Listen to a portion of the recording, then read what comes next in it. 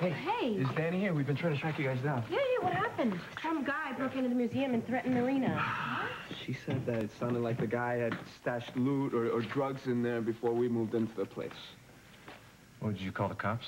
And we didn't have to. Shane tagged the guy with a baseball bat. And when he came to, I convinced him to leave. All right, um, let me talk to you for a minute. Excuse us.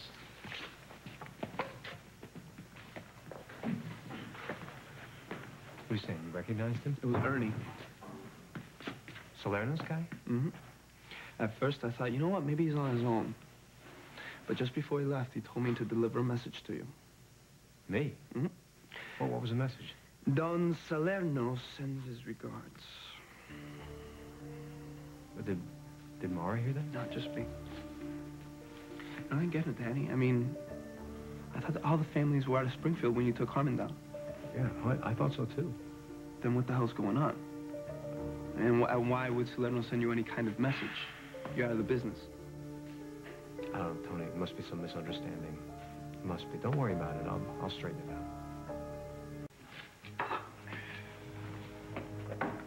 Gotta make a call. Hey, is everything okay? Yeah, it's fine. We're just talking business.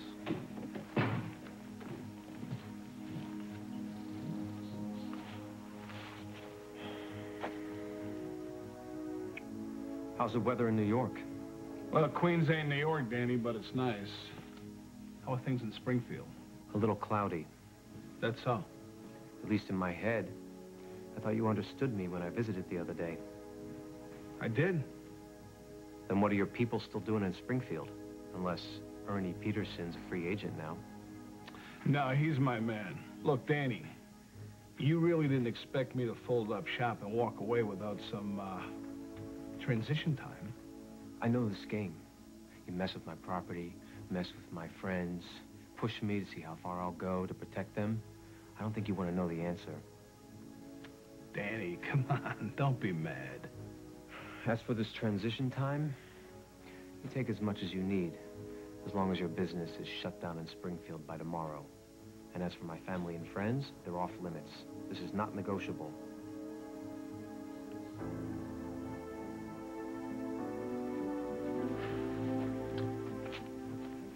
Some toast. Eat some. I've got Oh, lots more coming. um, oh, I want to show you something before you leave, too. There's lots of new improvements. That's great. What we got? So, did everything get resolved? Yep. Well, what exactly was wrong? It's too complicated to get into right now, especially before breakfast. Oh, that's why you went into the foyer to spare us the pre-meal details? That's right. I'll fill you in later. Right now, I want to make sure nobody else is in that tunnel. You give me a hand, Tony? Mm-hmm. Be do it. careful. Yeah, That's his middle name. there you go. Gonna call in my security guys and make sure they enter from the museum end. I'll go from here.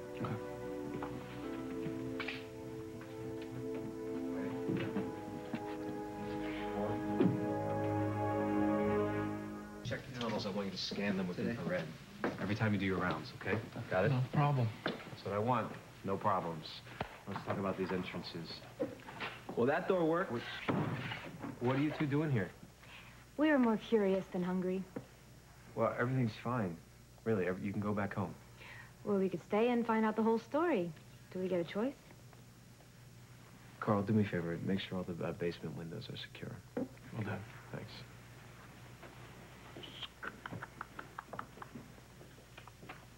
Okay, what do you want to know? Well, uh, who this drug dealer really is? Michelle, it was just some creep. Okay, so we talk about a street creep or like a made man creep?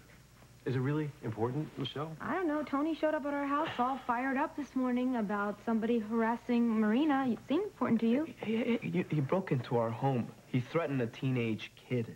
I don't know anybody that wouldn't be hot about that. Right, right. Well, we all know what you guys did before you got into the neighborhood reclamation business. And I just wondered if maybe this guy really was wandering in off the street or if he's part of your past that won't go away. Okay, he didn't wander in. It's not an accident that he was here. What? Yeah, it turns out that this guy works for one of the bosses back east, and his showing up here was more about sending a message to me and Tony than an issue about drugs or stashed loot. I had to ask. Michelle, I know it's not the answer you wanted, but you, of all people, can appreciate how difficult it is to leave that life. You're right. I'm a veteran, all right. The New York bosses don't want to believe that we want out, right?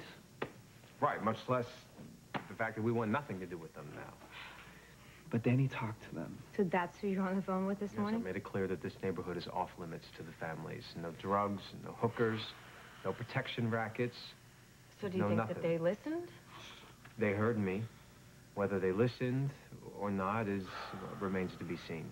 So in other words, this might not be the last incident. Michelle, it's going to take some time for Fifth Street to turn around. But it's going to. It's going to happen. You know why? Because we're here now. Right, we're here, the four of us, your friends, this entire neighborhood, everybody in this neighborhood, and we've invested too much in bringing this neighborhood back to life to let them scare us off. Just don't let my parents find out about this. Huh. Believe me, I won't.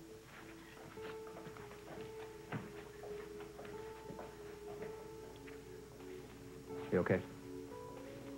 Well, I'm not surprised, so I guess that's progress. Michelle, I know. Look, I know that this is not your idea of a good time. Well, you know, the first night that you took me to our house, and you were gushing about our newest new life together, this ongoing mob pressure really wasn't part of the picture that you drew for me. And I think you left it out on purpose. You're right. I did.